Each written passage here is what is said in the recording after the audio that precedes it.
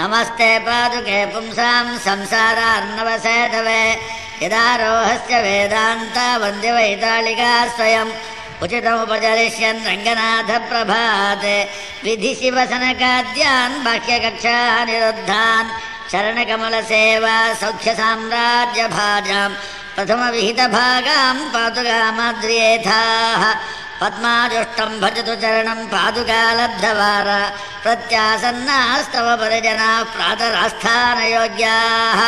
अर्धोन्मेषादधिकसुभगामोद्धनिद्रानुषङ्गाम् नाभीपद्मे तव नयनयोर्नाथपश्यन्तु शोभाम्।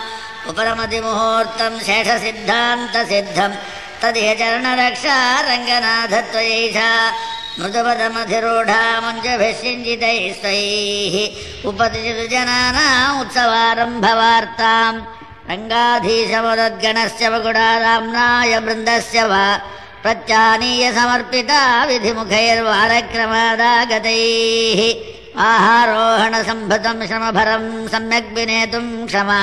लीला सञ्चरणप्रिया स्वसिते पादाम्बुजम् पादुका कृतम् क्रमेण बहुधा नियुतम् विधीनाम्।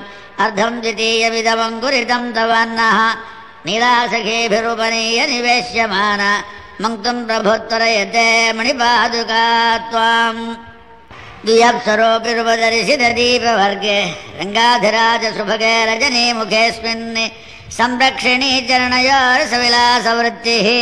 नीराजनासनमसौ नयतु स्वयम् त्वाम् आसनादुचितमासनान्तरम् रङ्गनाथ यदि गन्तुमीहसे सन्नतेन विधिना समर्पिताम् सप्रसादमधिरोह पादुकाम् परिजनवनिताभिप्रेषितः प्राञ्जलिस्त्वाम् प्रणमति मदनोऽयम् देवि शुद्धान्तदासः फणिपतिशयनीयम् प्रापयित्री सलीलम् पदकमलमियन्ते पादुका पर्युपास्ताम् इति निगमवन्ति वजसा समये समये गृहीतसङ्केतः अभिसरति रङ्गनाथः प्रतिपदभोगाय पादुके भवतीम्